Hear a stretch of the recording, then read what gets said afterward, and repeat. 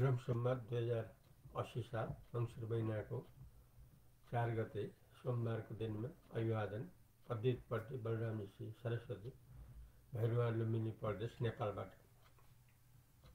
आत्माको बारेमा वर्णन गर्दछु। आत्मा आत्माको बारेमा वर्णन गर्दछु। आत्मा हो अमर। आत्मा कहिले मर्दैन। आत्मा सबैको यथार्थ स्वरूप हो।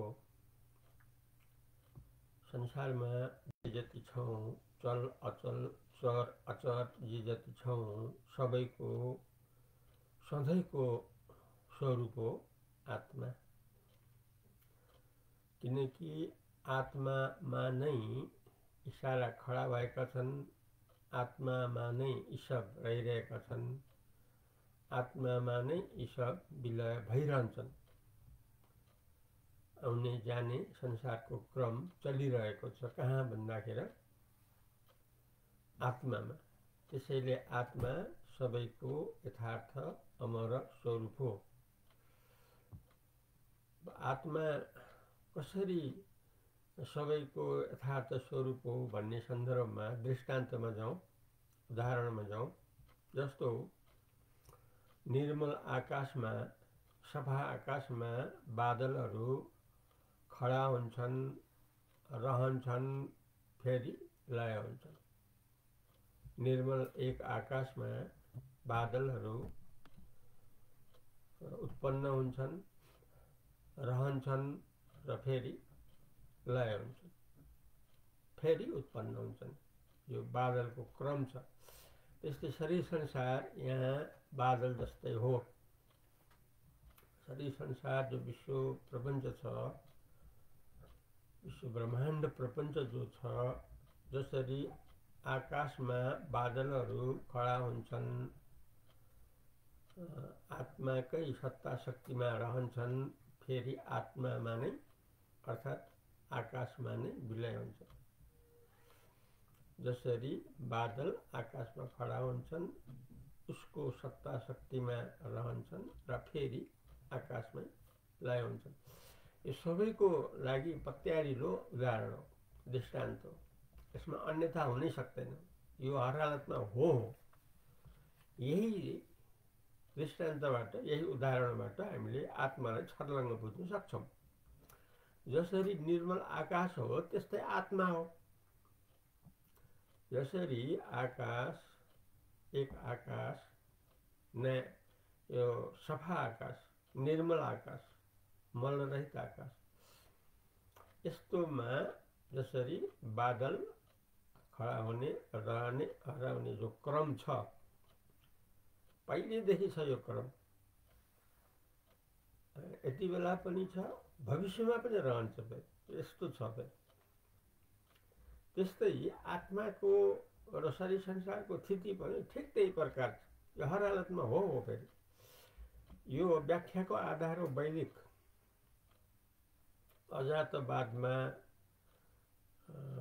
यो दृश्य द्रष्टाको बादमा अर्थात् द्रष्टा दृश्यको बादमा यी कुराहरू आउँछन् जो उपनिषदमा छ वेदान्तमा छ यथार्थ ज्ञानको मुक्तिको कुरा हामी भेटाउँछौँ वेदान्तमा। वेद त कर्म विभाग छ भक्ति विभाग छ ज्ञान विभाग छ नि। वेदमा त तिनै विभाग छ। कर्मकाण्डतिर हामी हेऱ्यौँ भने कर्म विभागतिर हेर्नुपर्छ यो सुरु हो। तर विडम्बना के छ भने संसारले यही कर्मयोगमै रोमलिरहेको छ। अनि भक्ति योगपट्टि पनि छ। तर ज्ञान योगपट्टि त प्राय आँखा चिम्लेको पाइन्छ। त्यसैले यथार्थ ज्ञानबाट हामी वञ्चित भइयो टाढा भइयो दुःख चिन्ता डरले घेर्यो समाधान पाइएन किनकि वेदको ज्ञान विभागलाई हामीले वास्तै गरेन। गीता पढ्न लाग्यो पहिलो अध्याय पढ्यो दोस्रो अध्याय पढ्यो तेस्रो चौथो पाँचौँ छैटौँ अनि यति पढ्दा पढ्दै लगभग थाकेको हुन्छ किन त्यहाँ धेरै कुराहरू छन्। अनि फेरि भक्ति योगतिर लाग्यो सातौँ आठौँ नौ दस एघार बाह्र अध्याय। धेरै धेरै कुराहरू छ त्यहाँ। त्यो मनन गर्दा सुन्दा भन्दा प्रायः थाकिया हुन्छ। अगाडि त फुर्सदै हामी निकाल्दैन। निकालिहाले पनि फेरि अलिअलि हेरेर छोडिदिइहाल्छौँ। मुख्य कुराबाट त हामी त धेरै टाढा छौँ। जो गीतामा तेह्र अध्यायबाट बल्ल मुख्य कुराहरू सुरु हुन्छ। तेह्र अध्याय चौध अध्याय पन्ध्र सोह्र सत्र अठार बल्ल पुरा हुन्छ। अब मुख्य कुरा सबैलाई यथार्थ जान्नुपर्ने कुरा सारा कुरा हामी भेटाउँछौँ ज्ञान जो तेह्र अध्यायदेखि अठार अध्यायसम्म छ।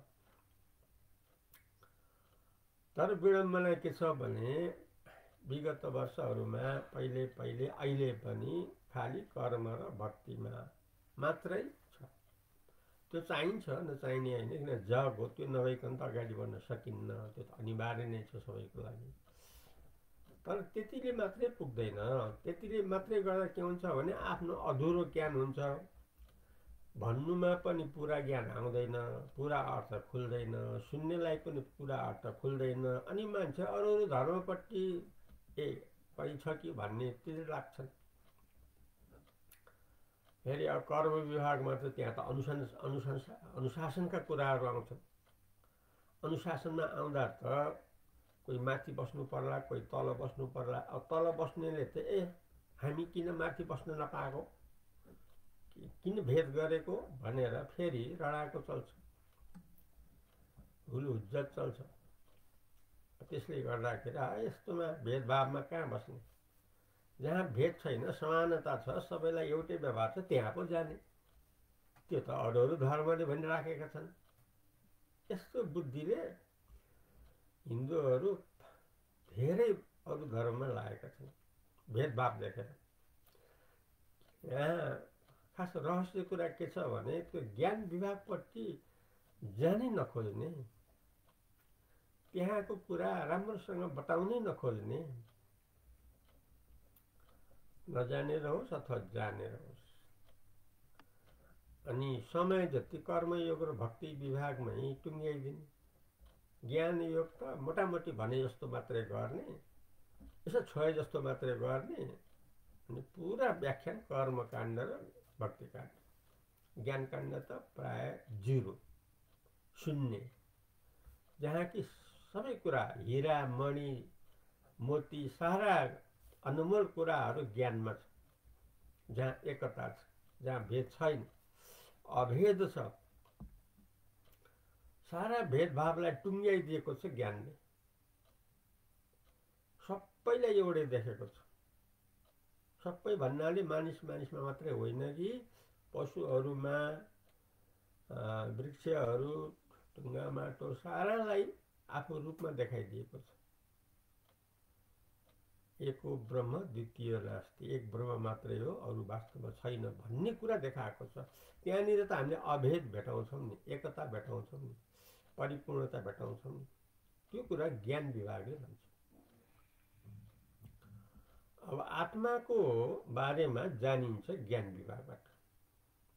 वेदान्तबाट जानिन्छ उपनिषदबाट जानिन्छ।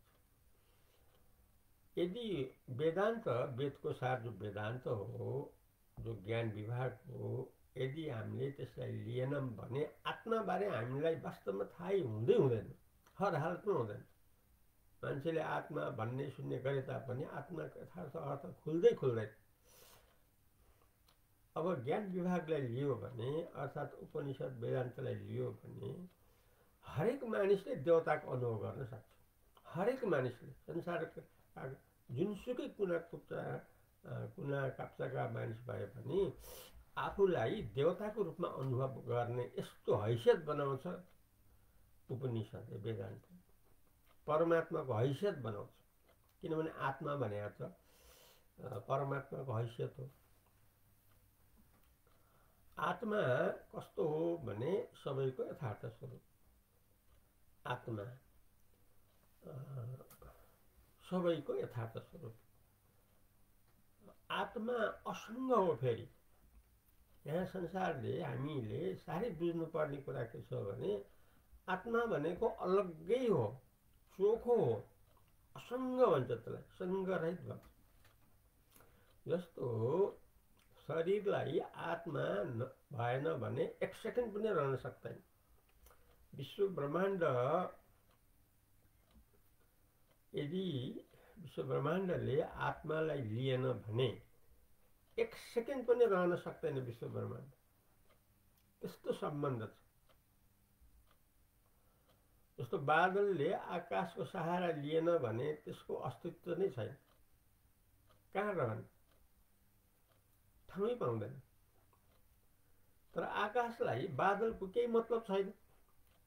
बादल आओस् रहोस् नआओस् नरहोस् आकाशलाई केही मतलब छैन। किनभने असङ्ग हो त्यो सङ्ग रहेछ ठिक त्यस्तै आत्मा त्यसैले आत्मा मिश्रित होइन शरीरसँग मिसिएको होइन संसारसँग मिसिएको होइन यहीँनिर संसार अलमलमा परेको छ। मिलाउन खोज्छ। आत्मालाई शरीरधारीले आफूमा मिलाएर अनुभव गर्न खोज्छ त्यो मिल्दै मिल्दैन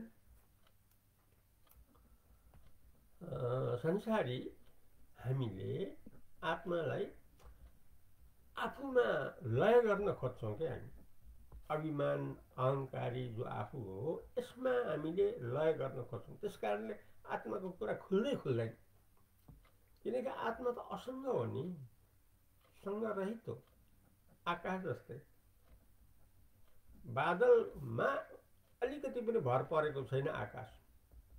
तर बादललाई आकाश नभई हुँदैन हर हालतमा त्यस्तै शरीर संसार विश्व ब्रह्माण्डलाई आत्मा नभई हुँदैन। आत्मा बिना एक सेकेन्ड पनि रहन सक्दैन। जबकि आत्मालाई शरीर संसार ब्रह्माण्डकै मतलबै छैन होस् नहोस् केही मतलबै छैन। आयो नि जस्तो सत्ययुग आयो।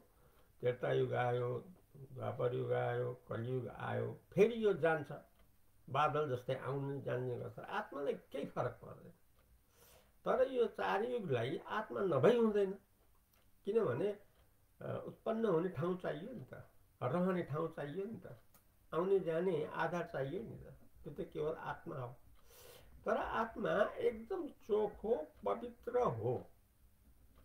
यो फेरि आफ्नै प्रकाशले प्रकाश भइराखेको छ फेरि। यस्तो छ स्वावलम्बन आत्मा।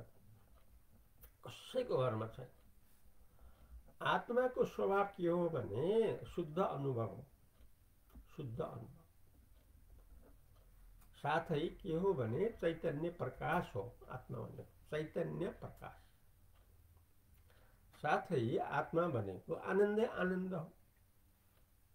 आत्मा भनेको शुद्ध अनुभव चैतन्य प्रकाश र आनन्दै आनन्द यस्तो हो आत्मा किनकि आत्मा भने त पशुपतिनाथ हो नि आत्मा भने शिव हो आत्मा भने परमात्मा हो आत्मा भने सबैको यथार्थ स्वरूप हो जस्तो आकाश निर्मल आकाश रहेको छ त्यसैले आत्मा बारेमा हामी छर्लङ्ग हुनुपर्छ त्यसको लागि हामीले कर्म विभाग भक्ति विभागलाई मात्रै लिएर हुन्न ज्ञान विभागलाई पनि लिनुपर्छ। तिनटैलाई लिनुपर्छ। र अन्तिममा मुख्य रूपले ज्ञानलाई नै लिनुपर्छ। किनभने सारा कुरा त ज्ञानमा समाप्त हुन्छ नि। कर्म समाप्त हुने पनि ज्ञानमै हो। भक्ति समाप्त हुने पनि ज्ञानमै हो। किनकि ज्ञान भनेको त आत्मा हो नि। अधिष्ठान हो नि। परिपूर्ण वस्तु हो नि। सनातन हो नि। अहिले यति नै गरौँ हरिओम तस्व